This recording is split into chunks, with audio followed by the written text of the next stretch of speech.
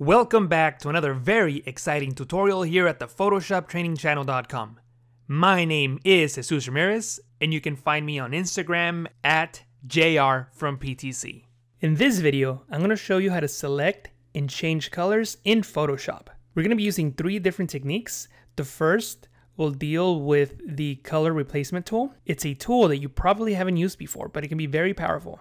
Then I'm going to show you how you can use the hue and saturation adjustment layer so that you can work non-destructively and change the colors of objects in your image.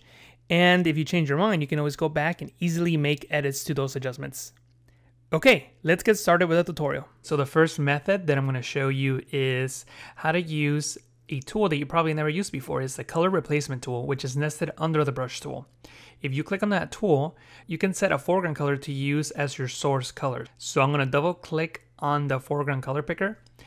I'm gonna click on the beanie hat and I'm gonna click and drag this up to select a red that has the same luminosity and maybe even make it just a little bit darker. So I'm gonna click and drag this down and then I'm gonna press OK.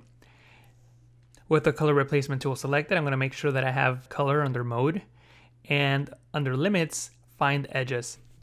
So when you click and drag in an area, you'll notice that the colors will change to the color in the foreground. Now the good thing about this tool is that I can increase the size of the brush, so I'm tapping on the right bracket key on the keyboard, and I can keep painting, and notice that I don't really go outside of that blue line because Photoshop knows that I'm trying to replace this blue color, and there is no blue found on her face or in the background.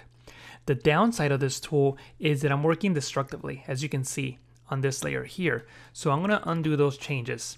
If you wanted to use this tool, what I recommend you do so you work non-destructively is use the lasso tool to make a selection around the object whose color you want to change. In this case, the beanie hat.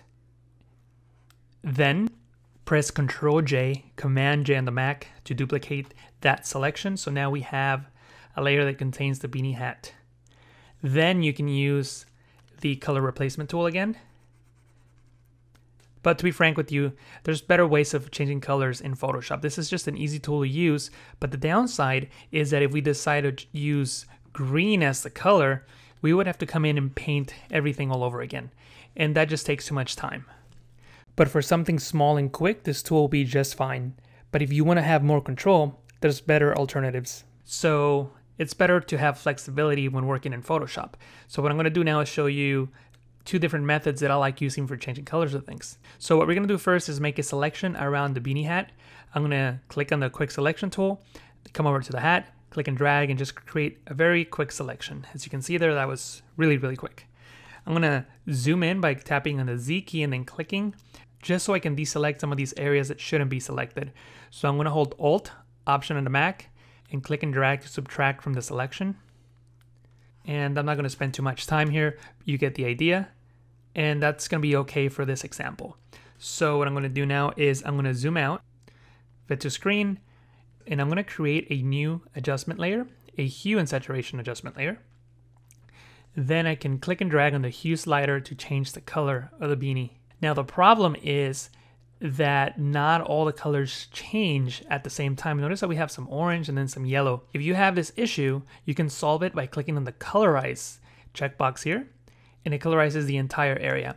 So then I can find a red color that I want to use, maybe something like this, with a little more saturation, but a little bit darker. Maybe bring down the saturation a bit. So something like that. I'm just looking for something that matches the scene. But anyway, so now that we have this set up, we can always come back and make changes if we want to. We want to make her hat green, we can do that and we can make all types of adjustments because we're using an adjustment layer and a layer mask. Now, what I would do if this were a real project is zoom in on parts of her hair, like this one here, and just fix them by painting with black on the layer mask. So I would select the brush tool, and with white I reveal, with black I conceal. So with black I would paint in areas like that strand of hair, and just go around the entire area here, making sure that there's no green spilling onto her face. Obviously, I'm not going to take the time to do that in this tutorial, but that's something that you definitely should do with your image. Now, what if we want to make this into sort of a Christmas theme where her hat is green and also the blue on her shirt is green? One of your initial thoughts might be to use the select color range feature in Photoshop, which allows you to select a color and then find similar colors around the image and, and select those.